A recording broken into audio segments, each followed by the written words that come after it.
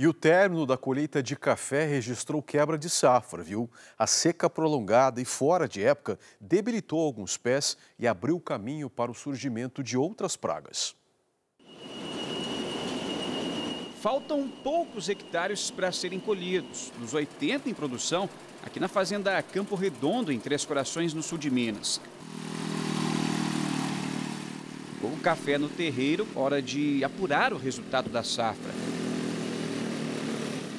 O Flaviano e a família dele esperavam mais.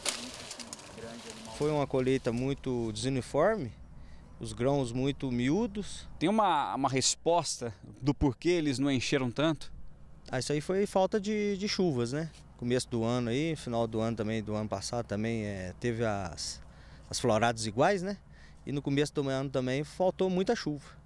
Isso aí já vem consecutivo já, não é só desse ano não. Para trás também temos muito é, muitas safras também que já vem com essa falta de chuva, né?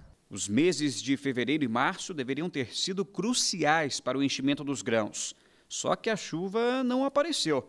O que veio foi a quebra de produção, cerca de 25%.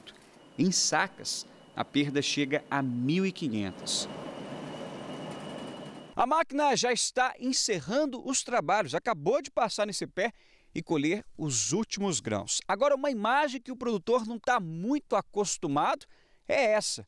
Os botões florais já deram as caras, isso por conta da alteração do clima. Os produtores estão na bronca aí porque não está chovendo no tempo certo, não há aquela regularidade. E pode ser que esses botões não suportem a primeira florada, já no mês de agosto ou em setembro. A produção de café hoje está muito difícil para o produtor produzir café hoje assim na, na atualidade. O clima está tá interferindo muito. Se não bastasse a alteração climática, outro problema veio já na reta final da colheita: o ácaro vermelho.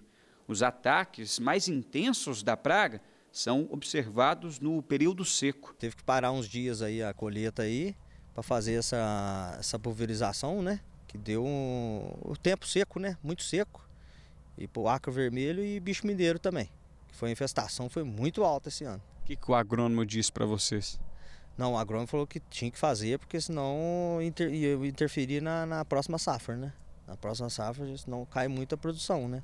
Já teve uma quebra de 25% esse ano? Né? É isso, já teve uma quebra grande esse ano, então para não ter a próxima, a próxima quebra do ano que vem, fazer essa pulverização junto com a ferrugem também, que já está ferrugem tardia, né?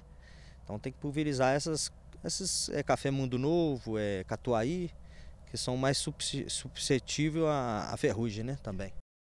Pelo quarto ano consecutivo, o SBT News é a marca mais confiável de jornalismo no Brasil, de acordo com o Instituto Reuters. 62% dos brasileiros consideram o SBT News e o SBT Brasil a fonte mais segura de informação.